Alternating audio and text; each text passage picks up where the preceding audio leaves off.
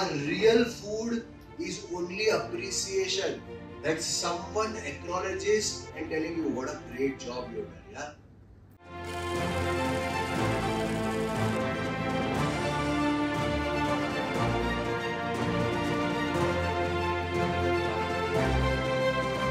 I overcome the shyness to speak with a stranger. gained a positive mindset. I gained some communication skill also. I have got over of my ego issues.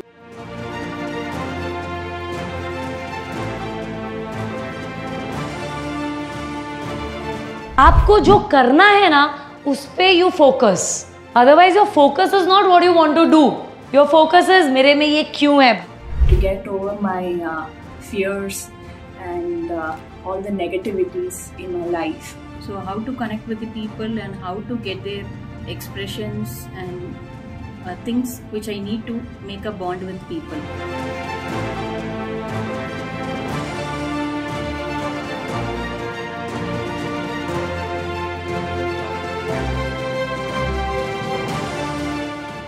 every person has to attend this session so that he can uh, give away his baggages and uh, be at peace and continue his life's journey.